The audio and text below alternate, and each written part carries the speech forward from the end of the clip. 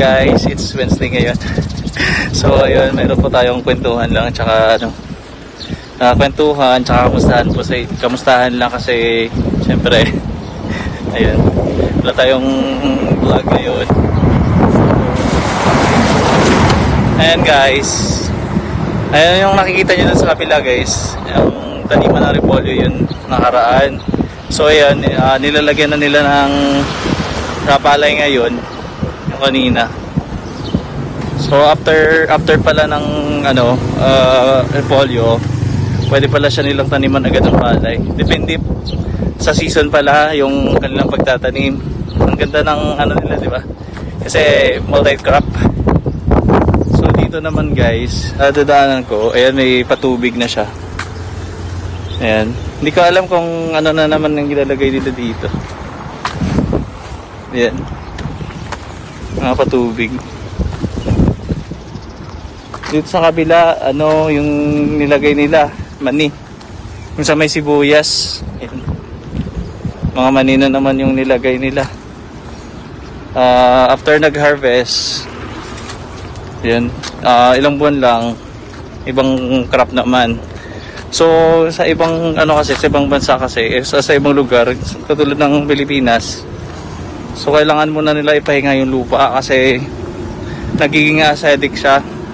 So sa kanila hindi, hindi ata sila naniniwala sa ganun. And uh, mata mataba na kanilang ano. Papaya pa. mataba na kanilang ano palay. Uh, siguro na abunuhan na 'yan. Ah, di ba? Ang bilis-bilis lang, isang buwan lang ata 'yan. O linggo lang tumayo na. So napakainit guys. Ayun guys, it's 5 o'clock na ng hapon. 5 uh, 06 ng hapon. So ayan guys. Uh, maano pa rin yung araw. Matirik pa rin. Uh, kasalukuyan po ako ulit nag, ano, naglalakad. uh, papunta sa pauwi na kasi napakaaga ng out namin. So ayun, ito yung ano buhay factory worker OFW dito sa Taiwan. So yung iba hindi niyo nakikita. So ayan yung iba makikita nyo pag-alagala lang sila. Uh, ano lang uh, happy happy lang. So hindi niyo alam kung gaano sila nasa-stress. Tsaka ina-enjoy lang nila yung yung buhay nila dito para makasurvive. So may iba-ibang paraan para makasurvive dito. So yun, pag day off mo, pwedeng ayun mamasyal ka, may mag-unwind, and iba-iba, nagiinom-inom, ganun. so ayun, iba-iba yung klaseng yung ano, yung patanggal stress. Kasi siyempre, ayun, malayo sa pamilya, nag-homesick, di ba? So ayan guys, dito may nakita na akong ano, isda, yung tilapia. Dito po. Ano na sila yung tilapia guys. Nakita ko yung tilapia, lumulukso-lukso na. So ayan sa team dayo dyan. Nanilapya tayo dito. Kaso fish pan to eh. Excuse me. Fish pan, fish pan to eh kasi paso lang ang babababaw lang ng kanilang ano, isdaan So ipakita ko. Ayan. Ayun, tilapiahan din to. So ko alam kung ilang buwan yung pag-aalaga nila ng tilapia. Ayun, lagi niyo ito nakikita. Yung sa kabila, yung 'di ba, yon uh, til, uh, tilapiahan siya isda, uh, pala isdaan dito naman ano siya uh, patuhan ito. Daming mga pato, guys. So kung nakikita niyo no nakaraan, ano pa yan uh, sisiw parang sisiw ba ano ba tawag dun sa ano pato ayun oh. ayun na sila ngayon nakikita nyo sisiw na sisiw yun ito na sila ngayon oh. lalaki na nila so ito pala yung ano nilalagyan nila ng pagkain ayan oh. yan pala yung nilalagyan nila ng pagkain tapos kung pupunta yung may-ari, yun, ilalaglag niya lang yan, tapos malalaglag na yung pagkain. So ayan guys, ang dami-dami nila oh, yung pato. Di ko lang makwenta kung ilan yan, pero napakadami. So, siguro dalawang buwan lang, isang buwan. Paano na siya? Ma-harvest na naman, di ba? di ba ang galing-galing nila? So, ayun. Sa kabila, ga- eh, ito guys, oh. Ano na siya, ah, pataba na. So, nawawala na kanyang pagkayelo sa dahon. Yan si ate, nag, ah, ano, nang dadamo yan sa kabila.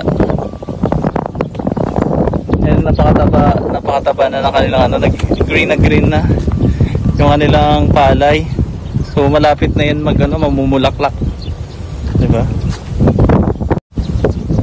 Usually pala yung mga pananim nila dito ah palay lang talaga.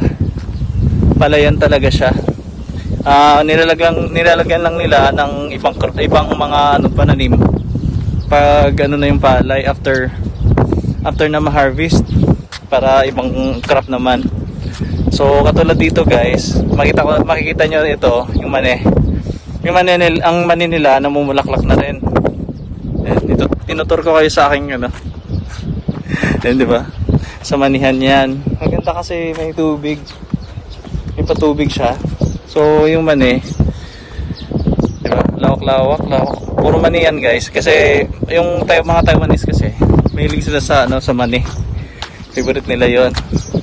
Di ba? Ayan ang lawak.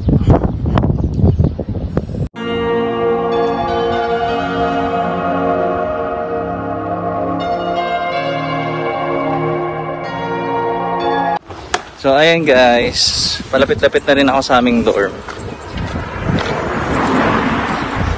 So ayan. Yung mais nila guys, hindi maganda yung pagkatubo. Ayan o. Kaya yung bunga nito papangit din. Parang hindi lumaki. Baka siguro sa kadamihan ng damo niya. Hindi siya naalagaan. Ayan o. So ayan guys, malapit-lapit na ako. Pero totoo ito na ako. Totoo ba na ako sa kabila. Ay, kamusta naman yung trabaho? Yun sa trabaho. Ayan. As usual, parang susuko na ako. Kasi sobrang sakit sa likod. Sa buhatan. And minsan, nakaiyak ka na lang. Kaso lang wala kang magagawa. Wala kang kakampi, sarili mo lang.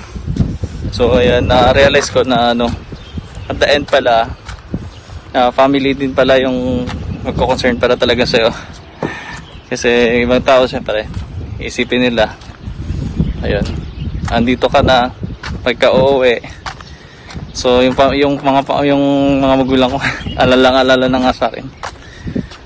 Ayun, sabi, okay ka na, okay ka na dito, ayun no, okay ka naman dito. Ah, tap marami ka namang naipundar. Bakit mo titiisin yung ano, baka mapapano ka pa. So ayan. Uh, yun yung pinapasalamat ko talaga sa aking pamilya kasi sobrang nag-aalala sa akin. Kasi sinasabi ko. So ayan, pagod na pagod guys. Ay, ah, buti na nga lang alas 5 lang kami. Kung hindi pa, nasusuko na ako. So ayan, malapit-lapit na rin ako. Ayun, maraming salamat pala sa pagsama sa akin. Ayun. Mag-ingat kayong lahat guys. Tsaka nung nakaraan, sobrang saya ako.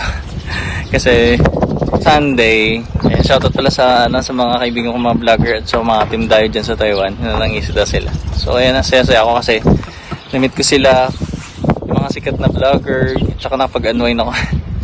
eh, ganun pala yung mga feeling nila, feeling pag ano, nag-ano ng tilapia. So ang dami-daming tilapia din guys. Ayan. So sa mga libangan ng mga OFW, vlog. Kaya ayun, nag-enjoy ako. Maraming salamat sa ano sa inyo lahat. Sana maka, maka, maka ano pa ako. Maka, maka join pa rin ako o umit ko kahit pasok. Ayun, salamat guys. Ayun, sobrang pagod talaga ako guys. Salamat guys sa pagsama sa akin sa ating lakad at sa kawentuhan lang. Pasensyahan nyo na muna yung vlog natin. Ako si Gemviews, ang inyong ka-views. Ayun, congratulations, magsi 17k subscribers na pala tayo. Salamat, salamat talaga. Bye po, God bless. At syempre kung nagustuhan nyo Ang video ito, please like, share, At pa-subscribe na din at pa-hit na notification bell para lagi kayong updated sa, Sa video ni Jen Views. Yes sir, Team Dayo. Au, au.